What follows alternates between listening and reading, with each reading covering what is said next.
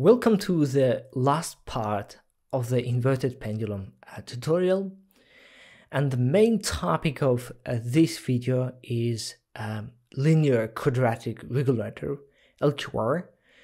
Uh, and we will implement LQR within the STM32 microcontroller to uh, balance our inverted pendulum system. So we will use LQR to keep the inverted pendulum upward. Also, I want to mention that we already covered the stepper motor control and using a rotary encoder to measure an, measure an angle. So if you need a refresher, of course, you can refer to those videos. Another important thing is that um, there's a PDF document which clearly explains um, the control system uh, topics and um, and the system modeling. So I will not um, spend too much time on explaining control system topics. Rather, instead, we will focus more on implementing the LQR control system techniques uh, within the microcontroller. So we will mostly cover the practical side uh, of the control systems. So um, a few words about the state space design and LQR. Um, usually, when we deal with uh, complex systems, for example, if you're uh, designing some robot, the, there are several things we want to control. There are several variables we want to control. For example, in our case, we want to control the angle, uh, the, the rotary angle, and also we want to control the stepper motor position. So there, there are two things we want to control. Um, but if we, we use, um, but if we use a classical control system approach, for example, if we use just a PID, we can control only one single variable. But of course, we can like combine different PIDs, but in principle, we have only one variable uh, that we can control. But instead, we can use a state space design where we can um, design a controller which is capable to control several variables. So to do that, first we have to model the system. So by modeling, I mean, first we need to uh, define the state variables. So in our case, we have this x vector. So x is not just a single variable, but it's a set of variables we want to uh, control, we want to deal with. So for example, in our case, we have an angle, we have an angular velocity, we have the stepper motor position, and then we have stepper motor velocity. So we end up with, with four state variables. Once you define them, we need to we need to uh, model the system, which is defining this equation. So here u is an input to the system, x is the state variables, and x dot means the derivative basically the dynamics of the system. So here we have A and B. And A and B are matrices, and usually when we deal with uh, uh, linear time invariant systems, A and B are constant uh, matrices. So they hold only constant values. And the second equation is about measuring. So usually we have sensors and and sometimes we don't measure the, the all state variables maybe some of them but we can reconstruct all the state variables using the the sensor values. So to define that part the estimation part we have the we have the second equation. But right now we don't care much about the second vari- uh, the second equation because we are going to measure all the state variables. Once we define uh, our system we can um, uh, design our controller to uh, provide the right um, input to the system to keep all uh, the state variables around the reference point. So by designing the controller, we need to come up with some gains, which allows us to provide the right feedback to the system. So for example, we have four state variables. So we need to come up with four gains gains uh, by gains i mean just the constant values we will just multiply uh, we each state variable with the corresponding gain, we take the sum and we provide it as an input to the system.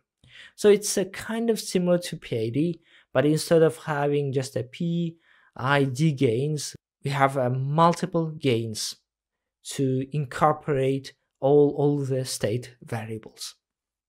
So how to find the right gains? Of course, there, there are multiple ways, multiple techniques to do that. But one of the most popular ones is, is a linear quadratic regulator. So in the linear quadratic regulator, first we have a cost function. So we have a state variables, we multiply by this Q, Q matrix, then we have R matrix for the input, and from that we have the cost function, and when we design LQR, it will minimize this constant function, uh, this, this cost function, sorry. Uh, so what, what it means, if we want to have an aggressive control, we want to, if we want to keep, uh, if we want to keep an error as small as possible, we just set higher Q, Q, uh, higher values to Q, Q matrix. So, so we get um, higher cost function um, uh, with respect to the state variables. But if we have some limitation in terms of control, in terms of the input, for example, you have a limited acceleration or you have you have limited power your, your motor can deliver to the system, then we need to consider that part. So in that case, we set just a high R, uh, high values for the R matrix. So so this way we will minimize uh, the the um, minimize um, the input to the system. So okay, so so the point is that we will try different different values for Q and R and we'll find the right cost function. Once we do it, there's a, just a one line in, in MATLAB to get the, the gains we want. So we have A, B matrices, we just Q, R, then it will provide the gains. So once we get this gain, we can start implementing the LQR within the microcontroller. So if we refer to the document I mentioned, uh, they use exactly the same idea. So here we have the state vector x, so we have the angular position of the of the pendulum. We have the velocity, which is which means how fast the, the pendulum is moving. Theta is the stepper motor position, and theta dot is the uh, stepper motor velocity. So we have this four variables, then they define this um, um, equation. For that, they have to use some physics, usually Newton's laws, to, to get the dynamics. Uh, from that, uh, they find this A and B matrix. And U here input to the system is the acceleration, the stepper motor acceleration. And this part we don't care much right now. Then they define these cost functions. So they have Q and R matrices. And, and finally, they I'm pretty sure, I'm 90 percent sure that they used MATLAB. So finally, they, they got these gains uh, for, for the LQR. And I think uh, it will be really good practice if you can try, if you try yourself, so you can take the these values and you can use MATLAB to, to get these gains. So once we get it, we can completely forget about the, the system modeling, the control system techniques, and we can jump to the to writing our code to implement the LQR. So that's what we are going to do next. After covering some theory, finally we can dive into the source code of the inverted pendulum project. So the first thing to, to note is, is that when, when dealing with, with control systems, we always have to run some tasks, some code periodically. And, and to implement that, we usually use timer update interrupts in, in when using the microcontrollers. So, so in my case, I'm using timer 4 to generate the timer update interrupt. So so here I, I set the, the prescaler and the period to, to the, these values to achieve 200 hertz uh, control um, control loop frequency. Uh, and also I want to mention that if you want to know more about these parameters, about the timer update interrupts, of course you can uh, you can refer to to videos on my channel and also the most importantly if you if you want to get more deep knowledge about STM32 programming I would highly recommend you um, a STM32 programming course on my on my website, which which covers all the essential topics of the STM32 programming. And and the recent big update is that nowadays I provide 30% discount to to students to to all of my all of my courses. Okay, so um, let's move on. So as I said, I'm, I'm using timer 4 to generate the interrupt. Um, so at 200 hertz rate, I have this callback function which is executed uh, automatically, and I set the timer flag here within within this callback function. And when this flag is set, I run the pendulum. So what it means is that I run this function at, at 200 hertz. And uh, let's see what I'm doing here inside of this function. So inside of this uh, function, I have a state vector machine. So by default, I'm in idle uh, state. And when I when I want to run the the, the inverted pendulum, I switch to this start uh, pendulum case.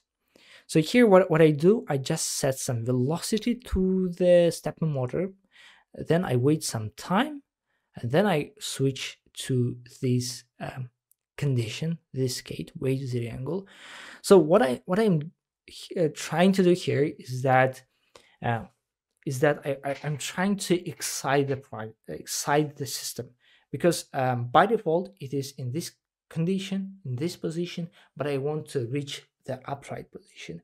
So to do that, I just uh, provide some initial velocity. It will swing uh, just a little bit. Then every time when it crosses the zero angle, I uh, provide additional velocity to excite uh, the, the system uh, more. So it will accumulate the energy in every iteration. So initially, uh, so eventually it will swing back and forth and it will reach the upright position. So to achieve that, I have this wait zero angle uh, case. Uh, so this is necessary to uh, excite uh, the, the system. And then when I re reach the top, the upright position, I will be inside of this condition. So when, when I reach the top, the upright position, I switch to this uh, condition, this case, switch control.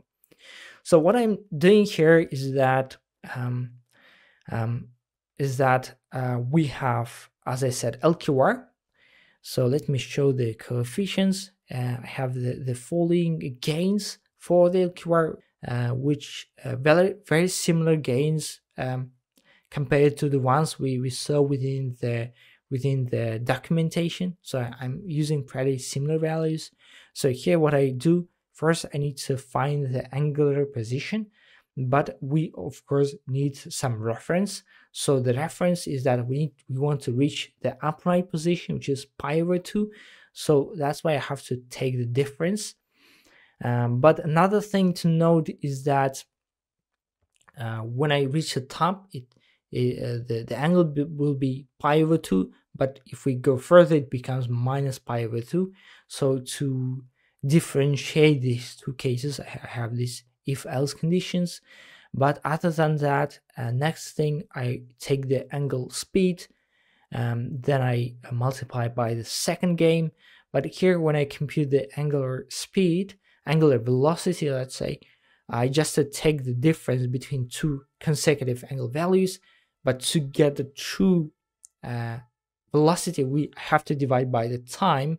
So that's why I'm multiplying here by the frequency. And, and here I'm, I'm not, I don't have any reference because the reference is basically zero. We want to achieve zero velocity. We want to just uh, keep the pendulum upright with zero velocity. That's why I have a zero velocity here. Uh, then I multiply by this gain. Then I have this the next one, which is the stepper motor position, and we can set some reference point here. So meaning that we can just move the um, the whole inverted pendulum system.